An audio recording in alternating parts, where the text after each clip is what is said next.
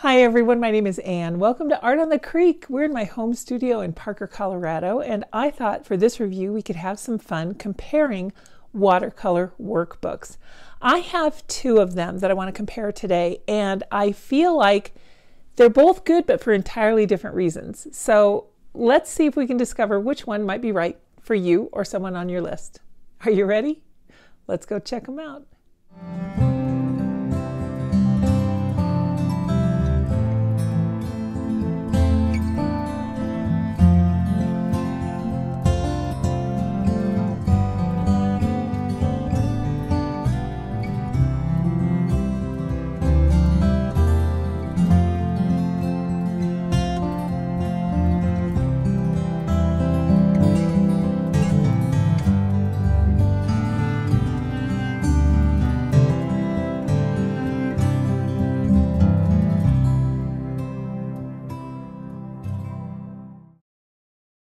How many of you still have the luxury of being near to a bookshop that is well stocked so that if you were to go in and check out a book that you heard about, you will find it in stock and you will also be able to open it, look through it, feel it. They won't have to put it on special order. That's not my reality, so I get things online. But um, this one is the first one we're going to look at is by Kirsty Rice. She is a graphic designer, artist, illustrator, and uh, uh, YouTube uh, instructor. And I really like her book here. This one is called The Winter Cutting Garden. It is a watercoloring book. And I want to keep that in mind because her book really needs to be considered, in my opinion, as a coloring book, which is a great asset if that's what you're looking for. So, for instance, on the inside, first of all, I love the format. I love how this uh, the cover folds out. It's kind of a trifold situation. There are some words in the foreword from uh, fellow artists. And then in this middle picture here where it says experiment, she really goes over different things that you can do to, to really just consider this coloring book as something you don't have to follow any set rules to play with. And I really like that. Uh, on this one includes 25 different designs and the paper she the only description that I've been able to find of the paper she describes it as thick and I think that's really good, but I would like to know more. It's got a little bit of a tooth to it. It feels like a really good uh, sketch paper, actually, and it'll probably tolerate some water. 25 pictures in here. They do tear out really easily, which I love. So, uh, and the size is 8.5 inches by 11 inches, which is great because if you wanted to uh, work on one of these pictures and then frame it, you wouldn't need to break the bank trying to figure out how to frame it, you can just go pick up an 8 by 10 frame and put it in there and you're good to go. Just trim it a little bit.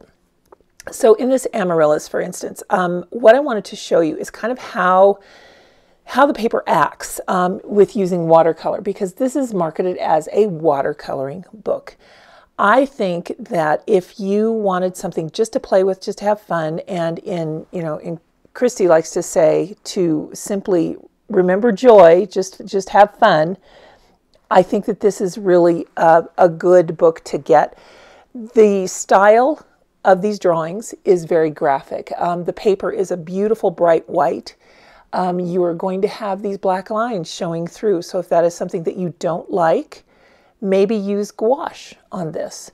Colored pencil, your black lines will still show through. You could take the time to paint over them, uh, but then you might want to put them back in. So I don't know. That that's that's all up to your your coloring pen, colored pencil options. But I do want to show you what water acts like on this paper, and we're going to speed this up in just a minute so you can really see how the water kind of just sits on top of the page, which is not a negative. It's a characteristic of this paper. So I just want you to know what you're getting into if you decide to to go this route. You wouldn't be getting something like uh, a sized watercolor paper. I really don't think. I'm 99% sure this is uh, a heavy sketch paper that or maybe it's mixed media i don't know because it can handle a little bit of water but like i said the only way that i can find a description about it is that it's thick and that is true and it has a nice enough tooth that if you're using pastel pencils or something like that you could do you could definitely use that the black and white contrast is wonderful because if you tear the page out and put it on a light box you can trace it onto whatever paper you want and then go from there um, so there's lots of options with this book. I chose to paint right in it. This flower that I'm working on right now, I decided to do wet into dry because I did the bulb and that first blossom wet into wet, and my camera stopped filming. So I'll get back to that in just a second. But here we go. Here's the finished, and I was able to get shading in. I was able to layer. Um, I had fun. So if that is what you're looking for, an uh, easy way to just spend some time, de-stress a little bit, have fun, then this might be the book that you would like to have. There's really no watercolor instruction per se in this book.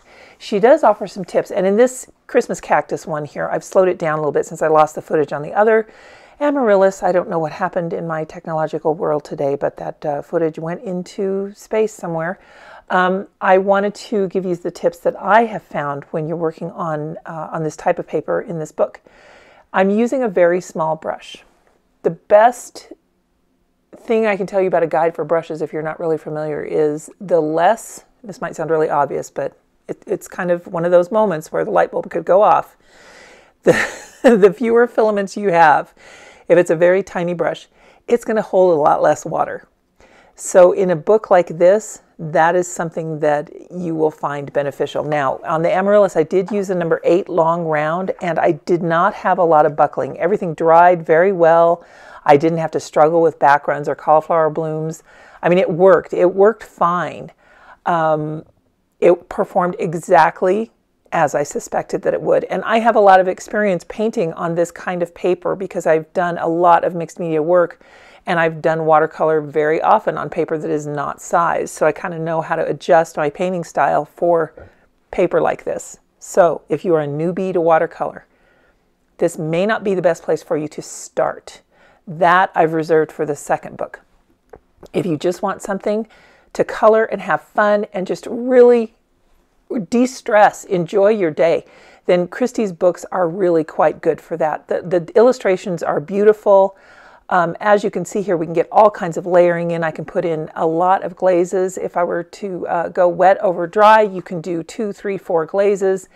It really is easy to paint in this book. The, um, the only caveat that I would give you with that, again, is use a small brush because you'll be able to hold less water that way.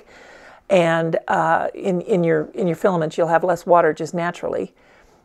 And you'll also be able to get into these small areas. Now that we're all zoomed in, you can see how inaccurate my eyesight is, but that's what happens when you've been around the, the planet a few years.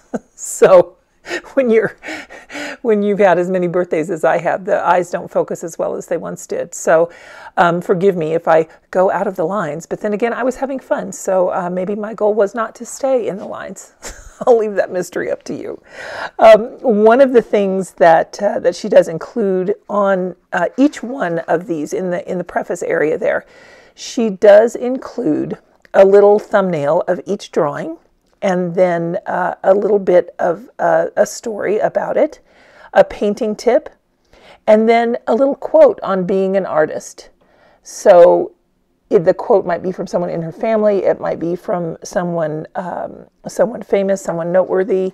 Um, not that her family's not noteworthy, but you know what I mean. Someone that you could actually Google and figure out what they say. And then she also has her own advice and thoughts. And uh, here's one of them that I really enjoy. This one is a quote from her Winterberry Variety page. And it says, and I'll read you directly from the book here it says, Artists avoid distractions. You can't do good work when your attention is pulled in many directions. When you're sitting down to paint for just a small chunk of time, you deserve to enjoy that time uninterrupted. So put the phone away unless you're listening to music. So little tips like that really just help you get that element of focus, element of uh, centering yourself so that you can be creative and really focus on that part of your brain and um, let your creative muscles grow. So you can see here I'm doing some wet on wet techniques where I'm dropping in pigment over other pigment that's already there. So technically I guess it's wet into damp, but on this paper it's more wet into wet. This one I let it dry out a little bit before I added the darker level of green. And then I'm going to come back in here with a brush that's just damp and just blend the two together. And I really like the soft gradient. And again, I've had a lot of experience with this kind of paper. This is not traditional watercolor paper. So if you have never painted watercolor before, you may, you definitely, you can get this book. You can do whatever you want. I mean, you know, I'm, I'm not your mom. I'm not going to tell you, tell you what to do. I am letting you know that if you do choose to get this book as your very first watercolor workbook and you're not familiar with painting on different kinds of paper, you might end up a little bit frustrated. You might want to save this for something like colored pencil because honestly, this paper is beautiful paper. It's quite luxurious. Um, 25 individual drawings. And here you can see I've dried it thoroughly and now I'm making it a mixed media piece and uh, going over some of these areas with colored pencil.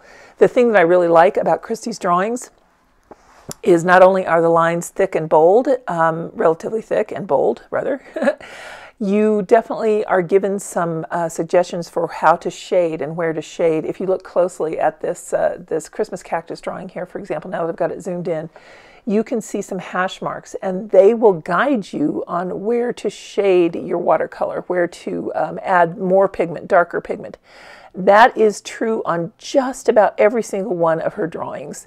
So it's kind of a really nice, I don't have to think, I don't have to put forth any effort. I can just be. I can just immerse myself in the moment, be creative, and enjoy the process. And for so many of us, that's why we paint. So I think, um, you know, for uh, even if you're a professional level artist, something like this can really be a lot of fun, especially what I have found a million, million times to be true. is if you have someone in your family that you find, I'm just going to use this as an example, um, a little bit difficult to talk to. For instance, a teenager let's just assume that you've got a teenager that would much rather spend time playing video games. I'm going to use a very stereotypical story here than spending time having a conversation with you talking about what happened in school. But you're their parent. You really want to know what's going on in school. Well, if you can get them to agree, maybe buy them some, uh, some of their favorite food to go along with this, hand them a paintbrush, sit down, say, hey, while you're having your favorite snack there, why don't you, you help me out? You do this half the page and I'll do the other half. And when you are working on something else like that, it's just easier to have those important conversations. Things like this are also really good for people who are um, elderly and struggling with perhaps uh, memory loss. Anything creative outlet like this, any kind of creative outlet, can really help keep that part of our brains engaged. And that is so important to making us well rounded human beings. So these are some things that uh, that I think you can really get from Kristy's books, and she has so many of them. This is just the winter cutting garden that I have. She's got one for each season. She's got journals. She's got note cards. She has a ton of things. Here's the book that I recommend if you are a new watercolorist looking for a workbook. Dana Fox has created this beautiful book that is about nine inches square uh, as opposed to Kristy's, which was 8.5 by 11. This one has all kinds of information in it for watercolor methods. So first of all, you can learn wet on dry, wet on wet, how to paint fur, ink and wash. And you can see as I turn the pages here, and all of these pages are actually watercolor paper.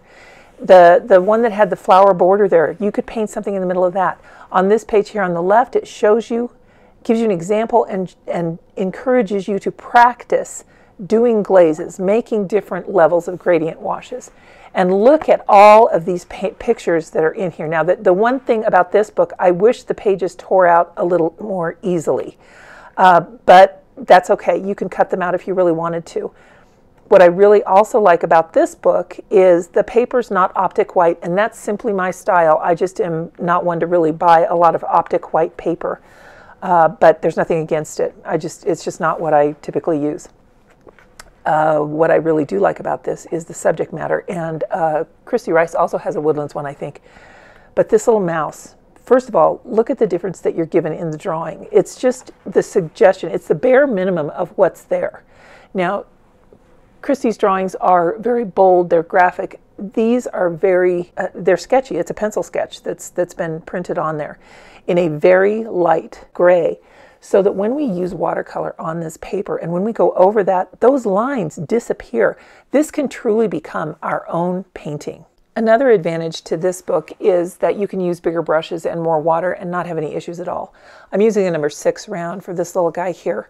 And you can see, I hope you can tell the difference. Let me zoom in a little bit. The way that the color and the water goes down on this mouse. Now I'm going to get this wet here and uh, we'll do, I know my water's not clean, but that's okay. We'll drop in some, uh, some pigment on this, on this uh, wet surface. So we're going to do some wet and wet techniques you can see how the paint disperses. It doesn't sit on top. It wants to go right down into that paper. That is a characteristic of, of watercolor paper. And uh, you don't have to you don't have to struggle at all. You don't have to compensate for anything. You don't have to learn any kind of a new uh, characteristic of paper. If you've worked with watercolor paper at all, this will act like watercolor paper that you've worked with. You can lift from it all the things that you can do with regular watercolor paper you can do. Um, the only time I ran into a little bit of a whoa, I got to leave that alone on Kristy's uh, paper was on the bulb of the amaryllis. Um, I ended up getting enough water on there that it, when I would lifted some off, it started to lift the paper off as well. So you really can't do a whole lot of washes on there. But again, that's not a negative. It's just a characteristic of that paper. This particular paper, I did a lot of lifting on the bridge of the mouse's nose here, just like this I'm doing right now.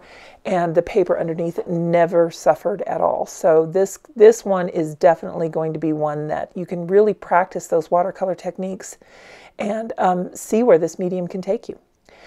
Uh, it also is really good for blending these colors. And you can see I've just, I'm able to coax these colors around. The one thing I really like about this drawing on this uh, on this book on Dana's book is that because it's light, it's not going to show through. It's just like if you were to have sketched this yourself, taken your kneaded eraser, rolled over it, and made those lines as light as possible. And you can paint right over this and you just don't see the lines. The end result in these, I think personally, looks more like a uh, an organic watercolor painting than it does um, in the other book. The, the thing with Kristy's book that we need to remember, and, and it says right on the book, it is a watercoloring book. If that's the look you want, if that's something you're going for, then that's definitely the book for you. If you're looking for more instruction, more lesson format, uh, more of a way that you can kind of see your progress as you complete each lesson, because these really are little mini lessons. So, for instance, what you can't see over there on the right uh, it does go through seven steps of how to emerge, how to, how to complete this painting and emerge with a mouse that looks much like the one in the example. Um, in each example, she gives you a finished painting with color. Uh, in Kristy's book over here, there is no suggested color, and I think that's part of her mission. So if you're looking for color suggestions, Dana's book would be better. If you're looking for just pure free form fun, Kristy's book might be more up your alley. In these seven steps, um, she goes over exactly what step to do when. And this isn't the only book that Dana has. She's got a jungle theme one, I think, and then there's an ocean theme.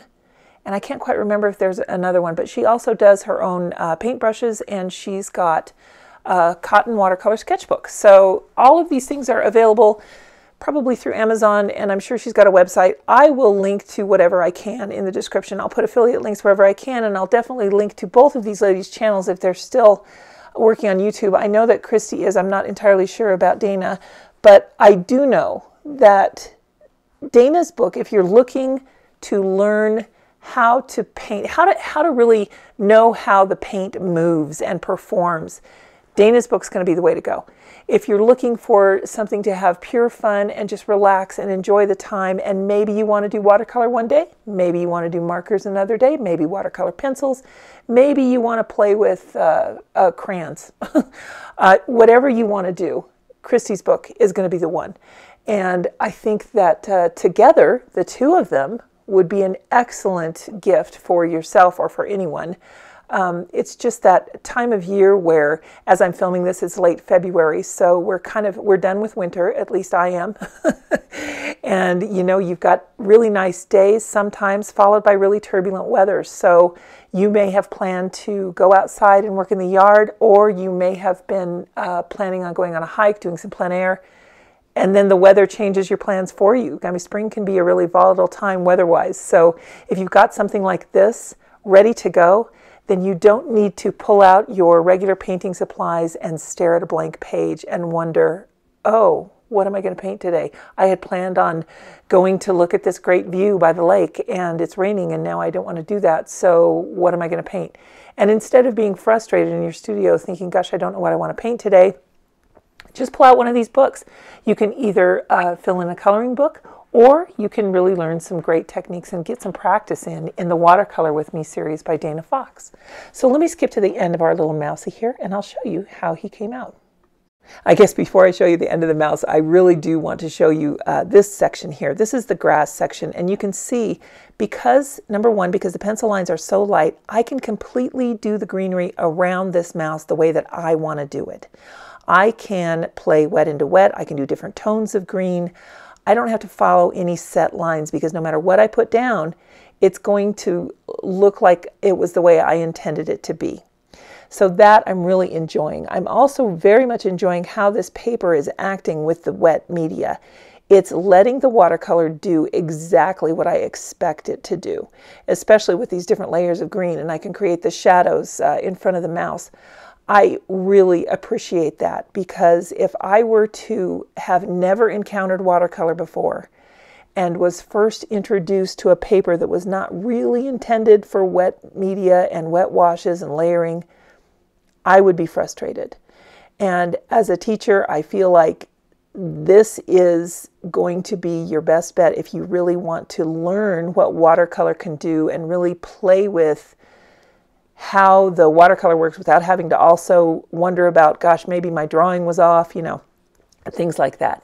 If you just want to have one of those variables controlled and really just work on how watercolor acts and works, this book series by Dana Fox is going to be the way to go. So here he is, all complete, and I think he turned out pretty cute. So the thing that I really like about Dana's book is the paper, the light pencil lines, uh, the suggestions of which colors to use, and the definite instructions on which order to go in. The things that I like about Kristy's book are the drawings, uh, the ability to put on very light washes, to go ahead and let the watercolor play a little bit with each other on the paper and still come out with something that is really quite lovely. Both books are great for many different reasons. Maybe you'd like to try both of them. I'm not working with either Dana or Kristy. This is just my opinion that I wanted to share with you in case you were curious about some watercolor workbooks. Okay, guys, I hope this was helpful to you. We'll see you next week. Thanks, everyone. Bye now.